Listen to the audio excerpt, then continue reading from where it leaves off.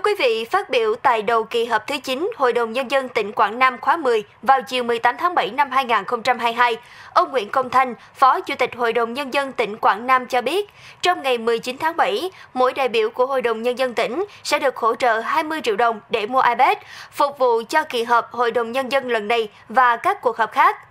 Theo ông Nguyễn Công Thanh, kinh phí để trang bị iPad cho mỗi đại biểu từ nguồn xã hội hóa.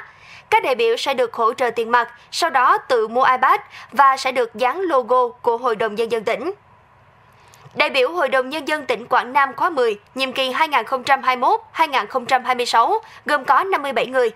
Trao đổi với phóng viên báo Thanh niên, ông Nguyễn Công Thanh cho biết, việc hỗ trợ mua iPad cho các đại biểu nhằm mục đích ứng dụng công nghệ tại các kỳ họp để không cần phải dùng đến giấy tờ. Mặt khác, thêm sự tiện lợi trong việc điều hành cuộc họp. Các đại biểu cũng tiện lợi khi tham gia và gia tăng hiệu quả về mặt thông tin.